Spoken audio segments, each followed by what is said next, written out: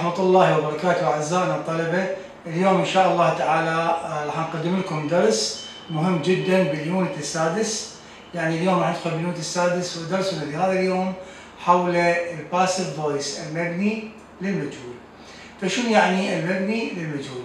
قبل ما نبدي بهذا الدرس أريد أن أعطي بعض الملاحظات وبعض المقدمات تمهيدية لفهم هذا الموضوع بشكل واضح.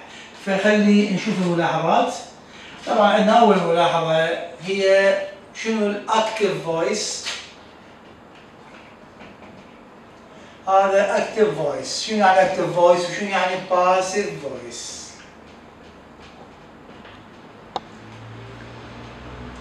طبعا ال active voice معناته المبني للمعلوم.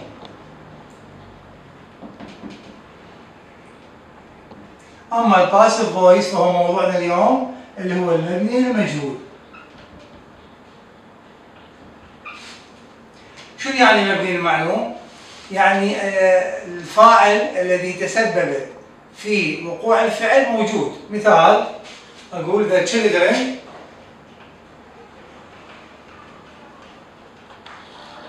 played football in the garden.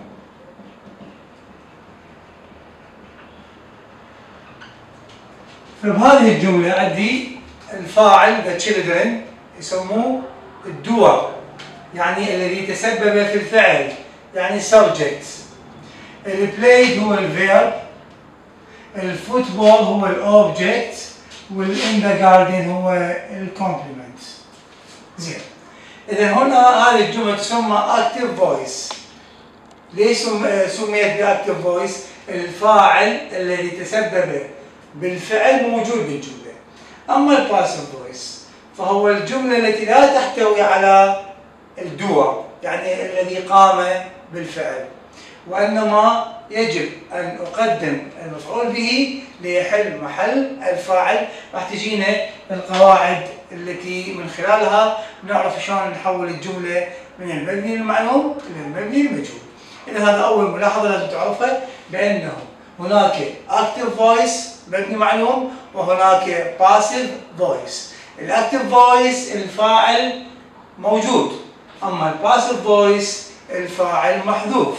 وإنما نجيب المفعول به ونخلي بدال الفاعل. هذه الملاحظة رقم واحد. الملاحظة رقم اثنين. طالب يسألني يقول لي أستاذ ليش نحذف الفاعل من الجملة؟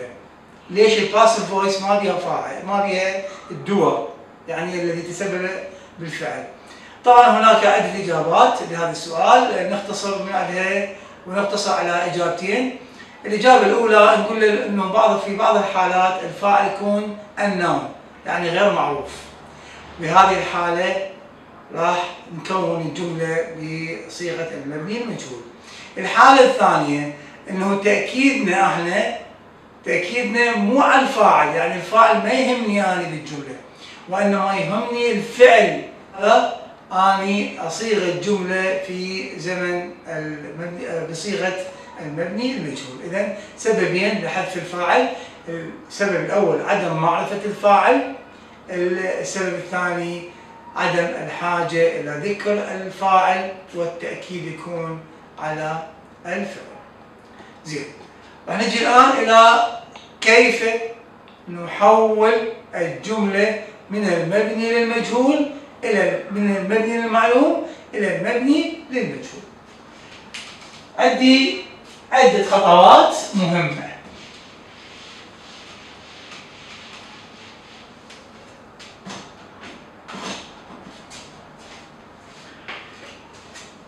خطوات تحويل الجملة من المعلوم إلى المجهول. طبعا قبل ما نبدي بالخطوات أريد أن أذكر الطالب بأنه المبني للمجهول لازم أنا عندي فعل متعدي يعني ما عندي فعل لازم. يعني أقول اني على سبيل المثال I go to school. هذه الجملة لا يمكن أن آه، أكون منها مبني المجهول لعدم وجود المفعول به لأنه الجو فعل لازم. الجملة اللي تحتوي على مفعول به أقدر أسويها مبني للمجهول مثل أقول I sent the letter. فشوف هنا I فاعل sent فعل وذا letter المفعول به. يعني كل جملة تحتوي على مفعول به أقدر أكون منها صيغة المبني للمجهول. هاي الملاحظة رقم اثنين. كيف نحول الجملة من المبني للمعلوم إلى المبني للمجهول؟ طبعا نتبع الخطوات الآتية أول خطوة. حذف الفاعل. زين. واحد يسألني سؤال يقول أستاذ أني ما أندل الفاعل وين بالجملة شلون أحذفه؟ غير أول شيء ندله حتى أحذفه نقول له الفاعل تلقيه قبل الفعل. إذا يوجد الفاعل قبل الفعل. اثنين. حذف الفاعل تقديم المفعول به ليحل محل الفاعل. زين. المفعول به وين نلقيه بالجملة. نقول للطالب يقع. يا هو مفعول به. وأن يقع بعد الحرف. يعني بعد حرف الجر. مثل ما أخذنا قبل شوية. The children played football in the garden. وبعد حرف الجر أو قبل حرف الجر العفو قبل حرف الجر وقبل الظرف. زين. لا. نضع أحد أفعال الكينونة. حسب الزمن. يعني مو كيف أخلي أنا فعل كينونة. وهي البي الإز الآ الآم الواز الوير البين والبين.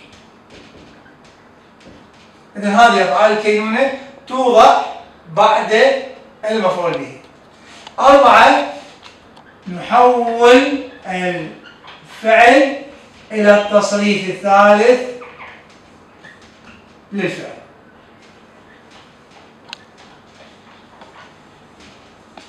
طبعا هذه للسهولة جمعت لك التصاريف الأفعال الأفعال المتعدية بهذا الجدول. مهمة جدا هذه الأفعال. هذه الأفعال تحتاجها لصياغة الجملة من المبني المعلوم إلى المبني المجهول. هذه الأفعال حاول تتدرب عليها وتحفظها. إملاء مهمة جدا في هذا الموضوع. زين. إذا عندنا أربع خطوات حتى نحول الجملة من المعلوم إلى المجهول. أول آه، نقطة هي أو, أو أول خطوة هي حذف الفاعل ويوجد الفاعل قبل الفعل. اثنين تقديم المفعول به. يعني اعطيك جملة اني أقول نفس الجملة مالتنا the children هذا الفاعل. الدو played هذا الفعل. فوتبول اذا هذا الفعل. القبله هذا فاعل. الواو هذا مفعول به. إذا الفاعل يوجد قبل الفعل. هذا فعل هذا فاعل. المفعول به يوجد بعد الفعل وقبل حرف الجر. إذا المفعول به وين؟ تقديم المفعول به ليحل محل الفاعل يقع قبل حرف الجر وقبل الظرف وبعد الفعل إذا المفعول به يقع بعد الفعل هذا الفعل وقبل الحرف الجار ما يقول أنا in the garden وين المفعول به؟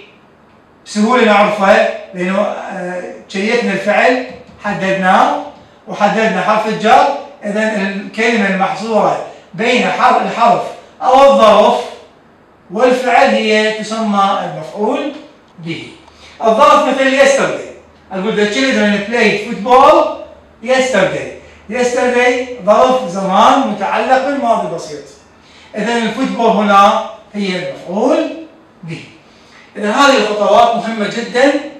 لازم تحفظها بالتسلسل لتحويل الجملة من المبني للمعلوم إلى المبني للمجهول.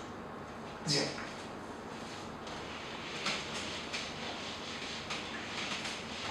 الآن عندي بعض القوانين عندي بعض القوانين اللي لازم أحفظها حتى أحول الجملة من المعلوم إلى المجهول. هذه القوانين طبعا متعلقة بالزمن، يعني كل زمن له قانون خاص. راح نجي نكتب القوانين. أول قانون عندي هسه هاي القوانين. أول قانون طبعا راح أخلي المفعول به هذا الركن ما يتغير اللي آه، يحل محل الفاعل بعد ذلك أخلي الاز والار والام هذا هو الركن اللي يتغير. ثم بعد ذلك أحول الفعل إلى التصريف الثالث للفعل. ثم أخلي تكملة الجملة.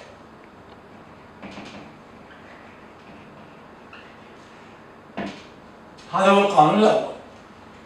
هذا القانون بيا زمن زمن المضارع البسيط. هذا إذا كانت الجملة في المبني للمعلوم في زمن المضارع البسيط راح أستخدم وياها هذا القانون. زين. إذا أريد أذكر الفاعل واحد يسألني يقول أستاذ إذا حذفت الفاعل وأريد أذكره وين أخليه؟ أقول له نخليه بعد كلمة باي. يعني نكتب الجملة في المبني المجهول ثم نكتب باي وثم يأتي الفاعل الذي حذفناه من الجملة. إذا هذا القانون في زمن المضارع البسيط زين. طالب يقول أستاذ شلون أعرف أنا الجملة في زمن المضارع البسيط؟ نقول له نعرف الجملة في زمن المضارع البسيط من خلال واحد. فعل الجملة فعل الجملة. اثنين يعني فعل الجملة الفعل اللي يحتوي على s أو es أو المجرد. الماضي لا s ولا اي اس اثنين من خلال الظروف. الدالة على المضارع. البسيط.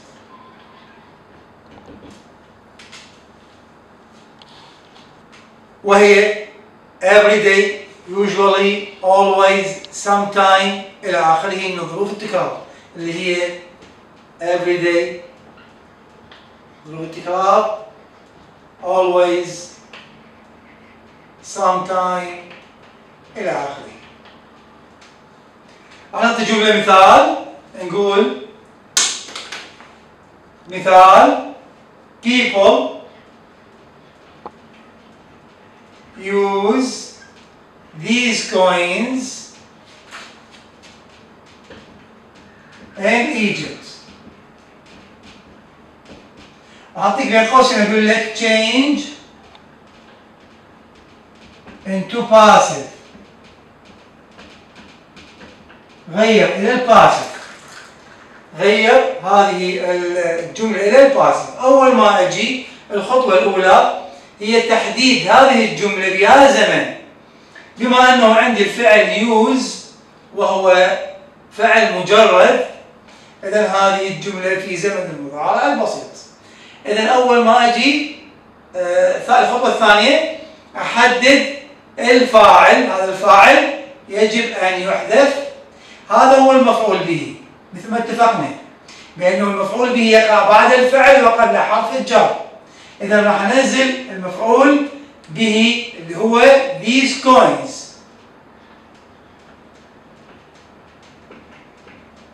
هذا المفعول به نزلناه بعد ذلك أخلي ار لأنه جمع. بعد ذلك أحول هذا الفعل إلى التصريف الثالث للفعل. هذا قياسي. بعد ذلك راح انزل تكملة الجملة اللي هو ان Egypt. فصارت هذه هذه العملات تستخدم في مصر. هذه آه، مثال على الجملة إذا كانت في زمن المضارع البسيط. راح ننتقل إلى زمن جديد وهو زمن الماضي البسيط. زمن الماضي البسيط راح أغير وين أغير أنا؟ أغير بأفعال الكينونة. راح يتغير عندي هذا. هذا راح يتغير عندي. فراح أيضا راح أكتب المفعول به. لكن راح يتغير ال is وال are وال am راح يصير was و were ثم راح يجي التصريف الثالث الفعل. بعد ذلك راح يجي تكملة الجملة إذا هذا القانون الثاني إذا قاعد تلاحظ أنت التغيير وين يصير عندي؟ التغيير يصير عندي وين؟ بأفعال الكينونة هذا المفعول به ثابت والتصريف الثالث الفعل ثابت وتكملة الجملة ثابتة اللي يصير التغيير عندي بأفعال الكينونة هي اللي تسبب في تغيير القانون. إذا هذه الجملة تستخدم في زمن الماضي. يعني هذا هنا الماضي البسيط. أما القانون الأول في المضارع البسيط. راح نجي نفس السؤال اللي نسأله. كيف نعرف الجملة في زمن الماضي البسيط؟ إذا نعرف طبعا هذه الملاحظات أريدك تكتبها يعني أنا مسحتها أريدك تكتبها. نعرف الجملة في زمن الماضي البسيط من خلال واحد. الفعل الماضي يعني الفعل الماضي القياسي اللي نضيف له دي أو اي دي أو الشاذ اثنين من خلال الظروف اللي هي الظروف الدالة على الماضي وهي yesterday ولast وأجو إذا علامتين أقدر أميز الجملة في زمن الماضي البسيط حتى أستخدم معها هذا القانون. نعطي مثال. مثال عليها مثال. somebody robbed the bank last week نحلل هذه الجملة نقول somebody هو الفاعل subject الروب هو الفيرب the bank هو الاوبجكت ولast week هو complement زين.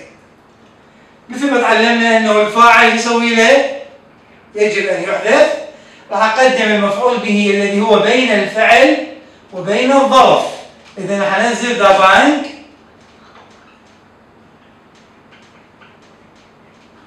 ثم أخلي ال was لأنه الجملة في زمن الماضي. إذا اطبق القانون الثاني. إذا خليت was ليش؟ لأنه مفرد. ال were تجي مع ال we وال you وال they مع الجمع. أما ال was تجي مع المفرد. إذا راح أخلي was راح ينزل الفعل الماضي هو نفس التصريف الثالث. كل فعل ينتهي ب ed التصريف الثالث مالته أيضا ed إذا راح ينزل روب ثم راح ننزل تكملة الجملة اللي هي last week. هذا بالنسبة إلى القانون الثاني. راح نكمل بالقانون الثالث. القانون الثالث عندنا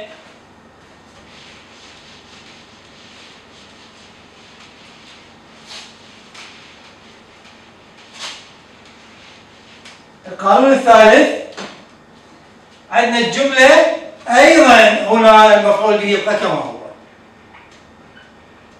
لكن أخلي هنا is و are و am زائدا being انتبه. من قلت being يعني الجملة في زمن المستمر. يعني المضارع المستمر. زائدا التصريف الثالث الفعل. ثم أخلي تكملة الجملة. هذا القانون الثالث.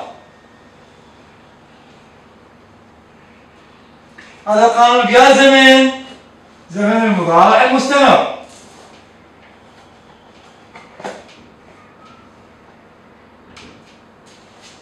المضارع المستمر زين. راح نجي الآن إلى آه، نعطي مثال عليها أو قبل ما نعطي مثال عليها نقول شو كنت نعرف يعني كيف نميز الجملة في زمن المضارع المستمر؟ إذا نميز الجملة في زمن المضارع المستمر من خلال واحد is و are و am زائد فعل نخليه ing. اثنين من خلال الظروف مالته. شو هي الظروف مالته؟ أخذناها اللي هي at the moment أو ما أخذناها حقيقة. يعني مضارع ما اخذناه at the moment و now و at the present? at the moment يعني تعني في هذه اللحظة. هذه العبارات أو الظروف من أشوفها بالجملة؟ يعني هذه الجملة في زمن المضارع المستمر. نعطي عليها مثال. أقول somebody لاحظ إنه الأفعال الجملة دائما أو أغلب الأحيان تبدي somebody. شنو معناته؟ يعني الفاعل مثل ما قلنا.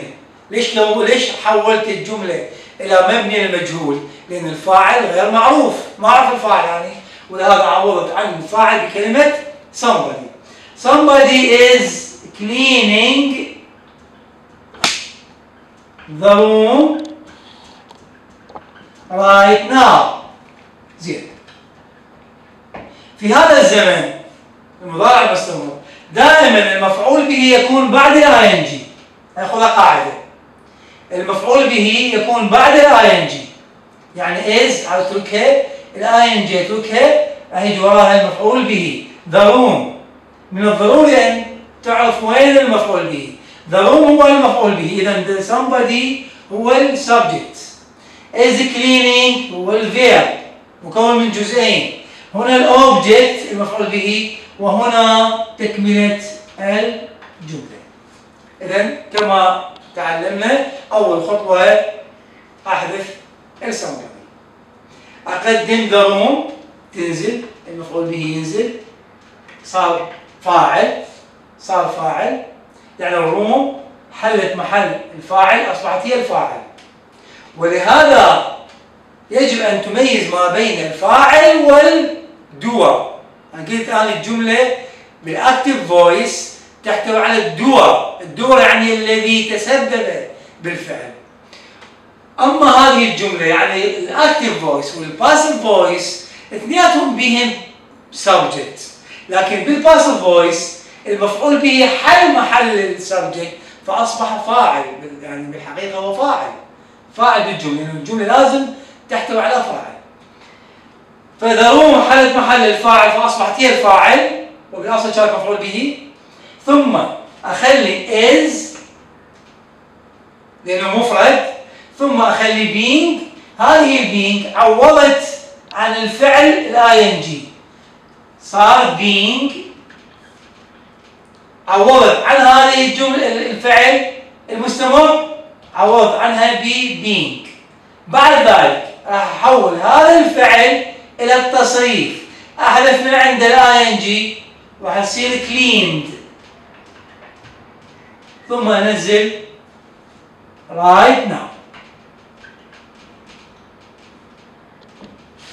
هذه ثلاث قوانين. القانون الأول بالمضارع البسيط القانون الثاني بالماضي البسيط والقانون الثالث بالمضارع المستمر خلينا نحذف الأفعال.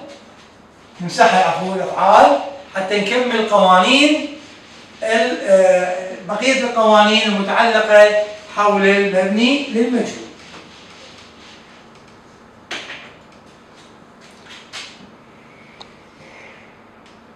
القانون الرابع. القانون الرابع. القانون الرابع عندي أيضا المفعول به was where being زائد تصريف الثالث الفعل زائدا تكملة الجملة. هذا القانون الرابع. زين. هذا القانون أيضا أستخدمه بيا حالة نعرف الماضي المستمر من خلال وازوير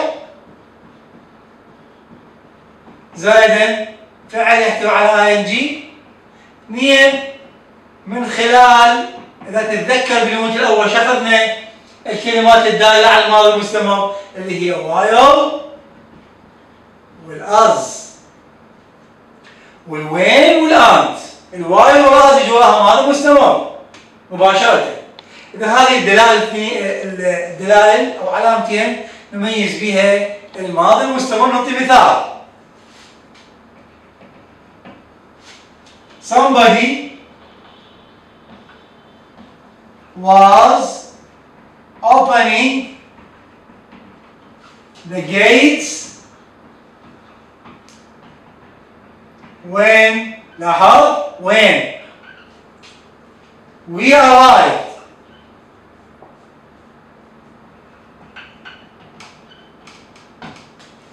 لاحظ عزيزي الطالب بأنه وين؟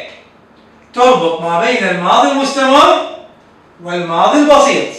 أما while was تربط ما بين الماضي المستمر يجي وراها وبعدين يجي وراها الماضي البسيط. اذا الآن نخلي هنا and وكذلك نخلي هنا وين؟ نحل المثال. هذا هو ال subject الفاعل. هذا هو ال verb the gates ال object و when we arrive هذه تكملة الجملة. إذا أول خطوة the first step يحدث somebody. راح نخلي بداية the gates. ثم راح أطبق القانون الرابع. لأنه الجملة تحتوي على ing وفيها was أبوح هذه إذا نخلي were ثم أعوض عن ال opening ب being وأحول ال opening إلى التصريف الثالث للفعل opened. ثم أنزل when we arrived.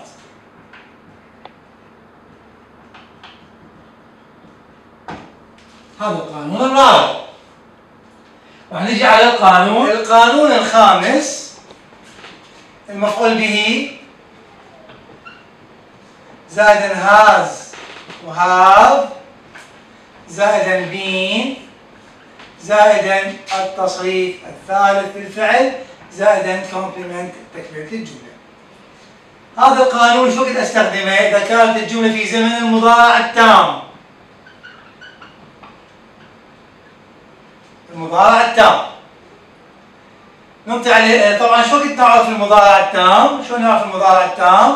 نعرف المضارع التام من خلال واحد هاز وهاف زائدا التصريف الثالث الفعل اثنين من خلال الظروف وهي اللي تعلمناها اليونت الخامس هي just و already و never و ever و yet ننطق عليه مثال somebody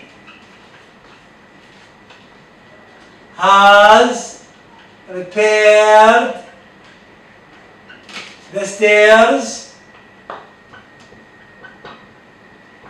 to avoid the accident. راح نحلل الجملة هاي somebody عندي subject. Has repaired هو الفعل the stairs اللي هو object. و to avoid the accident اللي هي تكملة الجملة. طبعا هذا الزمن هو أسهل زمن آه، للطالب لأنه التصريف الثالث الفعل موجود عندي أني فنفسه أنزله بالباسف فويس من أغير الجملة من المعلوم إلى المجهول نفس التصريف الثالث أنزله. ودائما يكون المفعول به بعد التصريف الثالث للفعل أما المضارع المستمر أما في زمن المضارع المستمر فيكون بعد ال ing المفعول به. إذا المفعول به يكون بعد التصريف وقبل حرف الجر. إذا أحذف somebody أنزل the stairs ثم جمع stairs ما أخلي has أخلي have هذا يمثل لي المضارع. ثم أخلي been هذا يمثل لي التام وبعد ذلك أنزل التصريف الثالث للفعل اللي هو نفسه repaired ثم أنزل to avoid the accident أو the accident. هذه اذا كانت الجملة في زمن المضارع التام. تبقى لدينا آه، قانونين من قوانين الباسف فويس. ابقوا ويانا أعزائي الطلبة لنكمل معكم ما تبقى من قوانين الباسف أعزائي الطلبة لنكمل معكم ما تبقى من قوانين الباسف القانون السادس حقيقة ما عليه جملة بالكتاب. القانون وهو المفعول به زائدا هاد بين زائدا التصريف الثالث للفعل زائدا تكملة الجملة. هذا القانون السادس.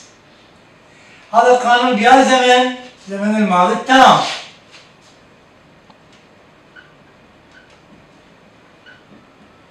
أيضا نوعه في الماضي التام.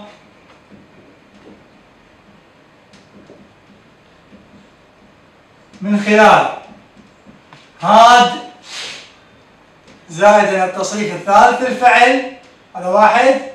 اثنين من خلال إذا تتذكر عزيزي الطالب من خلال شنو؟ من خلال after أخذناها. الجزء الخامس وبيكوز وسو وبيفور و after وبيكوز سو وبيفور ووين هذه الكلمات يأتي أما قبلها ماضي تام أو بعدها ماضي تام يعني ال after وال because راح يجي وراها ماضي تام أما so وال before وال when راح يجي قبلها ماضي التام ثم عليها مثال. I had finished my work. هذا جملة في زمن الماضي التام عندي ال I هنا. Subject. Had finished verb. و my work هذا ال object اذا راح أحذف ال I أقدم my work. ثم أخلي had been. والتصريف نفسه ينزل. ما أحتاج إلى تصريف هنا. نفس التصريف ينزل ينزل. واخلي full stop في نهاية الجملة. هذا هو القانون السادس. تبقى لدينا قانون مهم جدا. دائما يتكرر بالامتحان الوزاري. شنو هذا القانون؟ قانون ال future.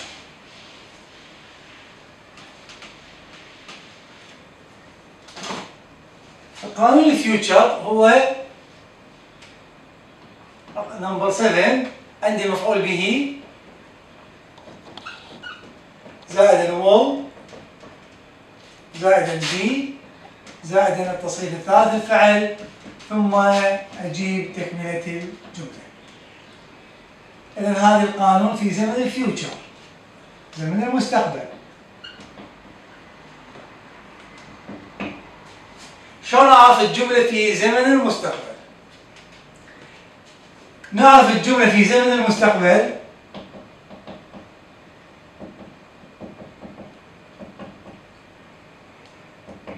من خلال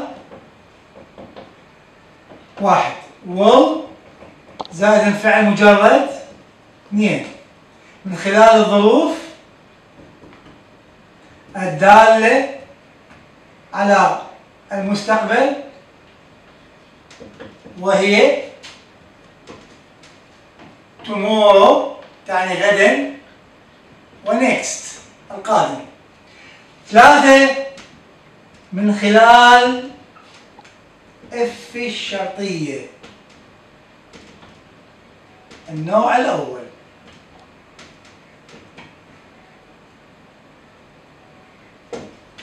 مثال. somebody لاحظ عزيزي الطالب انه كل أغلب الأمثلة اللي ذكرناها تبتدأ بكلمة somebody. يعني معناتها الفاعل غير معروف. Somebody will pay the bills tomorrow. هذا هو ال subject هذا هو ال verb هذا هو ال object وهذا هو تكملة الجملة. إذا صار عندي مفعول به في زمن المضارع المستمر يأتي بعد ال ing في الماضي المستمر أيضا بعد ال ing في المضارع التام والماضي التام يأتي بعد التصريف الثالث الفعل. أما في زمن المستقبل فنحسب ثاني كلمة بعد الول وول نعوفها وراها نعوفها راح يجي وراها المفعول به. راح أحذف somebody أنزل the bills ثم أخلي الول الول تحتاج إلى مصدر مجرد اللي هو البي وأحول هذا الفعل إلى التصريف الثالث الفعل. مهم جدا هذا التصريف. تد ثم أنزل tomorrow. هذه هي القوانين. المهمة القوانين السبعة المطلوبة عندنا في منهج كتاب الصف السادس. الآن راح نجي على أمثلة الكتاب. أمثلة الكتاب. عندنا حقيقة مثالين آه، تمرينين مهمات. عندنا تمرين في 122 مهم جدا. 122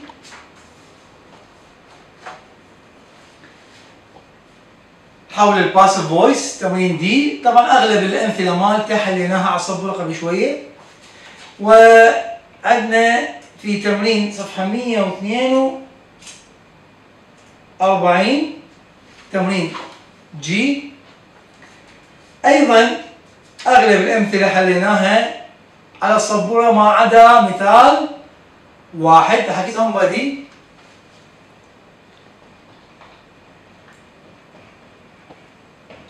teaches history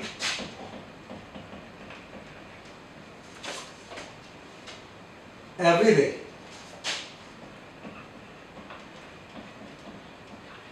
زين من برا هذه الجملة ما دام هي every day وعندنا فعل الجملة في المضارع هذا قانون القانون الأول. المضارع البسيط. راح أجي اول شلون احل السؤال؟ نعتبر انه هذا السؤال جاني بالامتحان وزاري اول ما أجي اعرف يا قانون اطبق؟ اطبق القانون اللي هو المفعول به. زائدا is و are و am زائدا التصريف الثالث الفعل. زائدا تكملة الجملة. هذا القانون اكتبه على السبوره أو اكتبه بالدفتر يعني بخط خفيف. حتى أطبق عليه. راح أجي عندي somebody هو الفاعل هذا هو الفعل هذا هو ال object هذا هو ال complement راح أجي احذف somebody أنزل history تاريخ. ثم هذه الكلمة مفرد اخلي is. ثم التصريف الثالث للفعل ما كتبناه حقيقة. حفظه هذا توت تيش توت ثم أنزل every day المثال المحلنا أيضا ولا ذكرناه اللي هو يقول somebody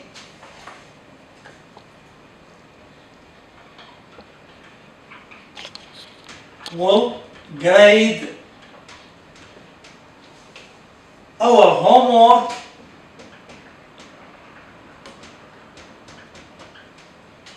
over the weekend.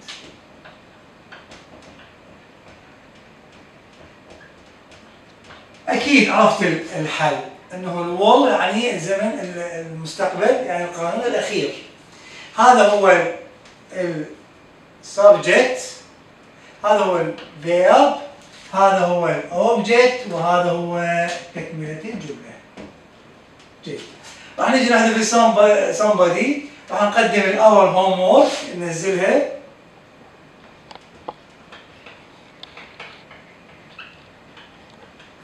بما انه عندي will إذا اخلي will be هذا فعل قياسي يصير graded ثم أنزل over the weekend.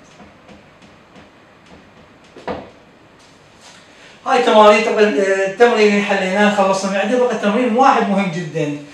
طبعا صيغة السؤال شلون يجي بالامتحان أما يأتيك بهالطريقة اللي ذكرتها قبل شوية الصيغة الأولى. الصيغة الثانية يأتيك بهذه الطريقة. راح اكتبها ريك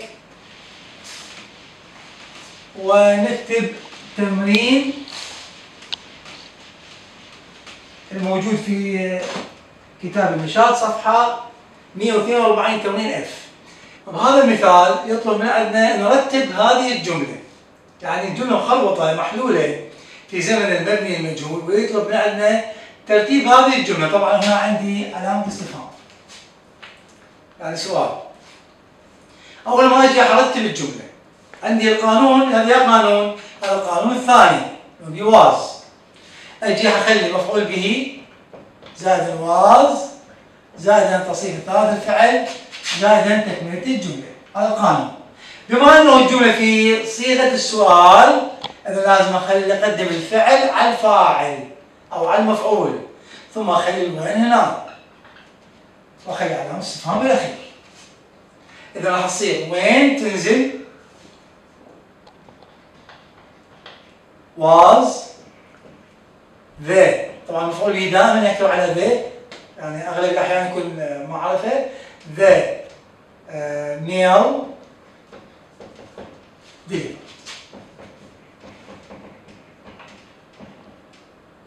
خلعنا الصفات هذا حقيقة موجود في صفحة 142 تمرين F في صفحة 142 ناخذ مثال ثاني. مثال ثاني يقول next being are weak. The replaced. Window. أيضا لازم نرتب هذه الجملة. فبما أنه الجملة تحتوي على اي ان جي وتحتوي على ار هذا القانون الثالث. القانون الثالث من متكون؟ متكون من مفعول به زائدا is و are ما راح نكتب ال is ماكو داعي. موجودة are زائدا زائدا التصريف الثالث للفعل زائدا تكملة الجملة. هذا القانون راح نكتبه. زين راح نجي الحل. وين مفعول به عندي؟ مفعول به أغلب الأحيان يكون غير عاقل. The windows. راح ننزلها. The windows. ثم نذكر are ونزل being وانزل replaced ثم انزل next week الظرف اخليه بالاخير ناخذ مثال آخر. عندنا آه ناخذ مثال آخر. يقول be sold the end house. Will before the year thereof. هذا أكيد القانون قانون قانون ال future مباوع وين ال object المفعول به؟ المفعول به هو ماذا؟ the وال house هذا المفعول به. راح انزل the house will be sold إذا هذا تصريف آخر مهم جدا اللي هو sold التصريف الثالث مال sale عندي sale sold يبيع بيعة sale sold والتصريف الثالث مالته أيضا sold the house will be sold. أدي before. ما تجيني تكملة الجملة. The end of the year. The end of the year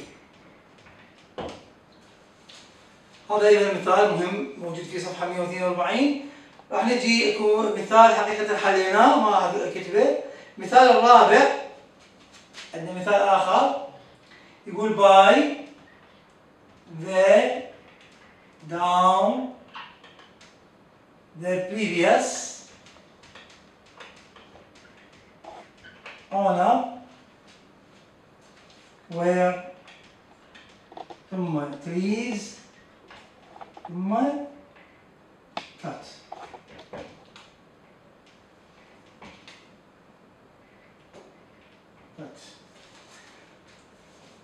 أيضا راح نحدد ال object اللي هو the trees. هذا ال object راح أنزله. The trees. الأشجار. ثم أخلي القانون الثاني اللي هو الوير. التصريف الثالث اللي هو cut by تنزل. قلنا إحنا اذا حذفنا الفاعل فيذكر بعد كلمة by ثم انزل the previous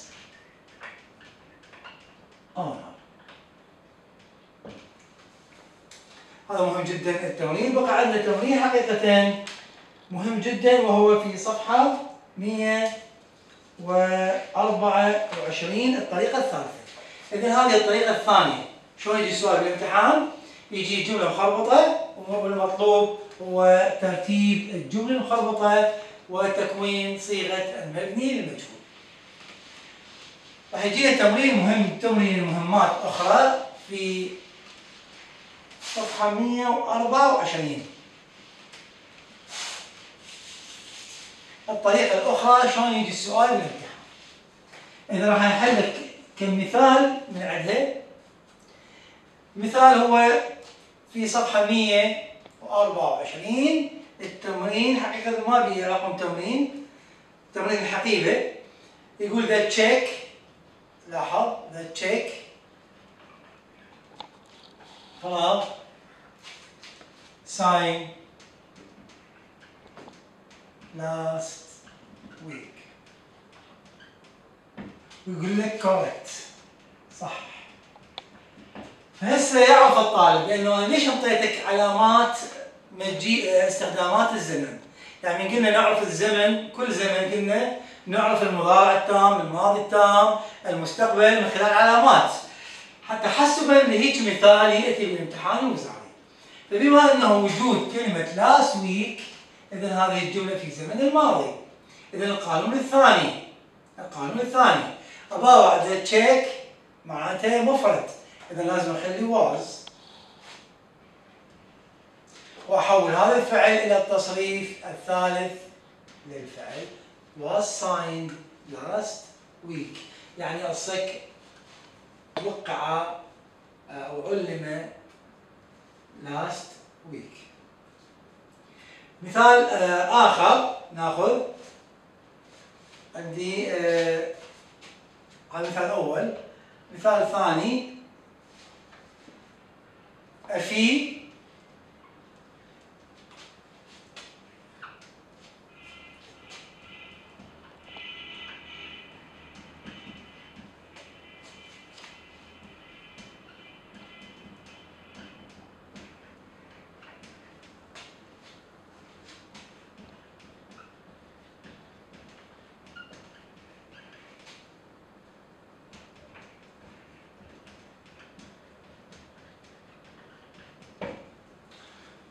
بما أنه الجملة تحتوي على if الشرطية إذا هذا النوع النوع الأخير القانون الأخير مال will إذا راح انزل will بالجملة.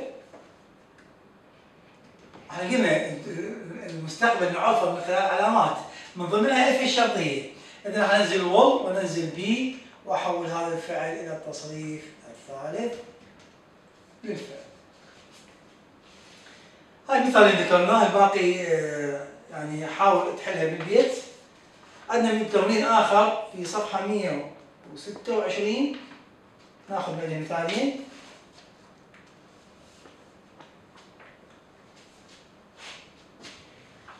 في صفحة 126 التمرين دي. ناخذ كم مثال حقيقة. عندي المثال الأول اللي هو the money in a bank account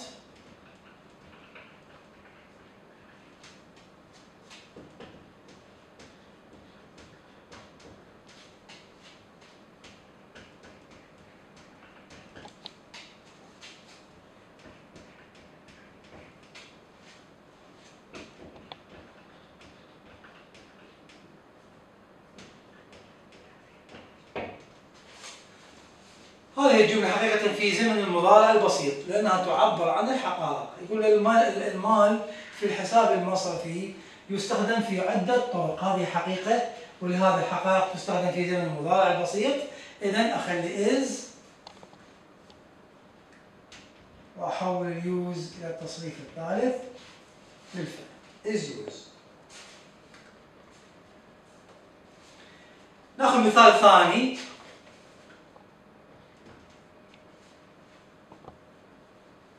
The machine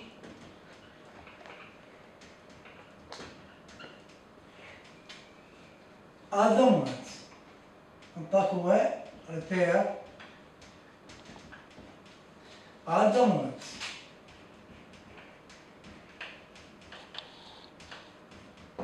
بما ان وجود at the moment اذا هذا يا زمن المضارع المستمر اذا the machine أقول is being القانون الثالث ثم أحول هذا الفعل للتصريف الثالث للفعل.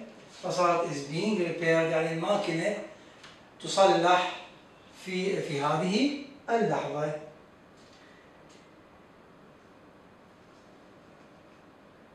ناخذ مثال ثالث هذا مثال مهم جدا. عندنا مثال ثالث ناخذ اللي هو the decision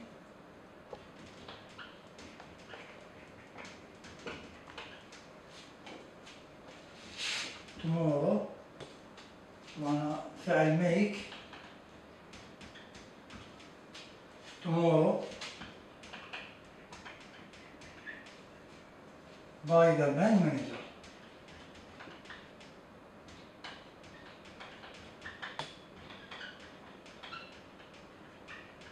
بما أن وجود ال adverb هو tomorrow ظرف الزمان مال المستقبل إذا لازم أخلي هنا القانون الأخير اللي هو will يكتبه بالأحمر.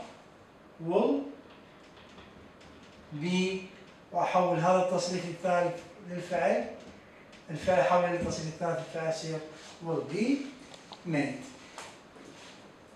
حقيقة أعزائي الطلبة هذه هي التمارين المهمة والصيغ الثلاثة اللي تجي بالامتحان الوزاري. الصيغة الأولى يعطيك جملة تحولها إلى ال passive voice. الصيغة الثانية جملة غير مرتبة ترتبها بال passive voice والصيغه الثالثة مثل ما تعلمنا هسه آه، يعطيك فعل ويطلب من عندك أن تصحح الفعل الموجود بين أقواس وتنتبه بانه شلون تعرف أنت الباسف فويس إذا جاء المفعول به قبل الفراغ. فتحوله على حسب الدلالات الزمنية. تبقى لدينا شيء واحد وهو الأمثلة الوزارية. فابقوا ويانا ونكمل معكم حل الامثله الوزارية. عليكم أعزائي الطلبة لنكمل معكم حل الامثله الوزارية المتعلقة حول المبني للمجهول. خلينا نجي على المثال الأول اجى بالدور الأول 2017 هذا المثال يقول my uncle deposited the money last week. طبعا هذا القانون هذه الجملة في زمن الماضي البسيط لوجود الفعل الماضي طبعا هذا فاعل هذا الفعل هذا object وهاي تكملة الجملة أول ما أجي أحذف الفاعل أقول ضماني ثم أخلي was وأنزل نفس التصريف الثالث للفعل هو نفسه. ثم أنزل last week المثال الثاني يطلب من عندنا مثل ما آه، قلت لك اني إنه يعطيك آه، كلمات مخربطة آه، تعدلها لتكوين صيغة المبني للمجهول. هنا يقول لك next being are weak they are placed. ويطلب منك put the words in the correct order to make the passive sentence. يعني يقول لك ضع الكلمات في الترتيب الصحيح لتكوين الباسف خلينا نحلها أول ما أجي أنزل المفعول به. وين المفعول به؟ The the house. ناخذ house. ناقص house. أنزل the house. The houses جمع. Are being placed ثم انزل next week. The houses are being placed next week. هذا القانون الثالث. يتكون من مفعول به زائد are being ثم تصريف الثالث الفاعل ثم ظرف الزمان يجي هذا في الدور التمهيدي عام 2019 هنيجي على المثال الثالث. المثال الثالث عندنا أيضا نفس المثال السابق أيضا كلمات مخربطة نرتبها يجي دور الثالث 2018 راح نفتش أول ما نفتش على المفعول به. طبعا ما دام عندي هاف واتصل بين اذا هذا القانون الخامس. إذا راح انزل the stairs المفعول به. ثم انزل have been تكتب القانون. بعد ذلك ترتب على ضوء القانون مثل ما تعلمنا. مفعول به have been تصريف الثالث الفعل repaired ثم يسر عليه الترتيب الباقي اللي هو to avoid the accident.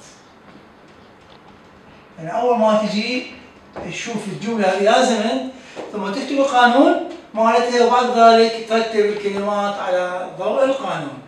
هذه الجملة في زمن المستقبل والكلين دور أول 2018 إذا هذا هو الأوبجكت أنزله هذا يحذف the house. آه، ما دام عندي وول أنزل الوول وأخلي بي وبعد ذلك أحول هذا الفعل إلى التصريف الثالث للفعل cleaned. ثم أنزل every Saturday. المثال اللي بعده المثال الخامس عندي أيضا ترتيب كلمات إجي دور أول 2015 أجي اضوء هذا يا زمن طبعا عندي زمن الفيوتشر. اذا آه أنزل المفعول به اللي هو the bill بعد ذلك أنزل الول وراها لازم أخلي بي ثم أنزل التصريف الثالث للفعل. ثم أنزل الدلالة الزمنية. أخليها في نهاية الجملة. اذا أيضا ارتب القانون. خلي المفعول به. القانون will be تصير ثالث الفعل ثم تكملة الجملة. المثال السادس يجي الدور الثاني 2016 عندي فعل ماضي وعندي last اذا هذا القانون الثاني. اذا هذا هو ال object هذه وحده في السبجكت انزل the wallet المحفظه ثم انزل was stolen ثم انزل last week. مثال السابع أجي دور اول 2019 عندي أيضا في زمن الماضي بوجود ال left. هذا يحذف. هذا هو ال object شوف ال object هنا بين الفعل الماضي وحرف الجر. إذا انزل these blocks. Where لازم اخليه where منجمع ثم أنزل left التصريف الثالث مال leave ثم أنزل in the classroom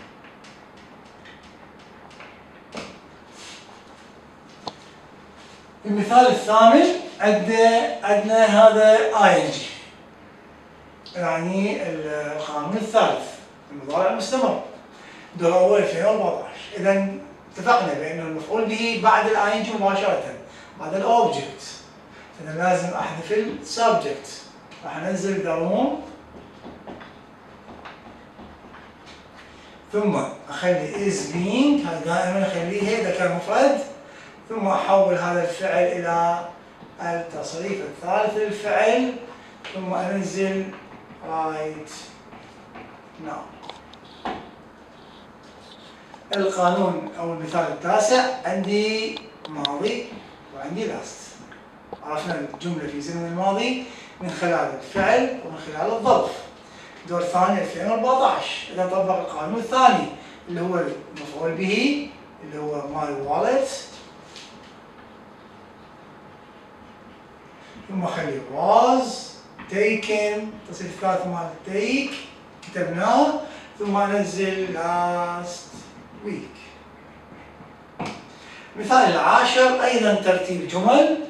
يطلب مني ارتب الجملة الدور الثالث 2014 أول ما أجي افتش على المفعول به اللي هو ذا بانك بعد ذلك أخلي was ثم أخلي الروبد ثم أخلي yesterday.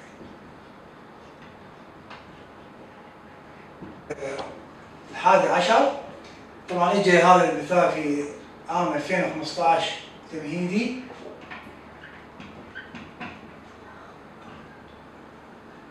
بما أنه موجود في نهاية الجملة at the end of the year إذا الجملة في زمن المضارع البسيط يعني القانون الأول. راح يصير is ثم أحول هذا إلى paid ثم انزل back.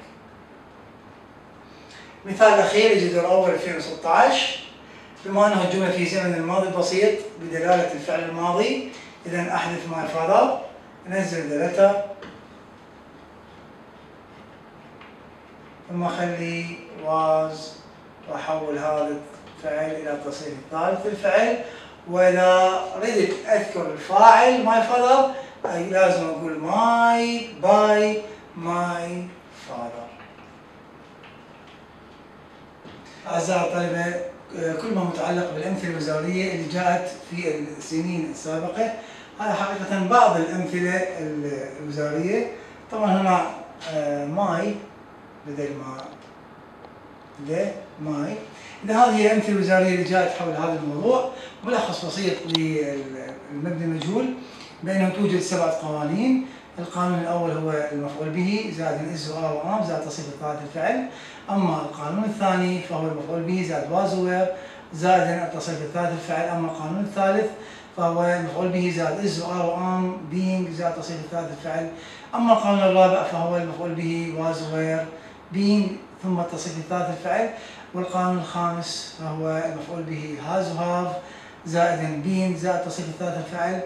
والقانون السادس هو المفعول به had been ثم التصريف الثالث الفعل والقانون الأخير اللي هو المستقبل المفعول به ثم will be زائد التصريف الثالث. هذه مجمل القوانين المتعلقة حول المبني للمجهول. شكرا لكم أعزائي الطلبة لحسن المشاهدة استودعكم الله والسلام عليكم ورحمة الله وبركاته.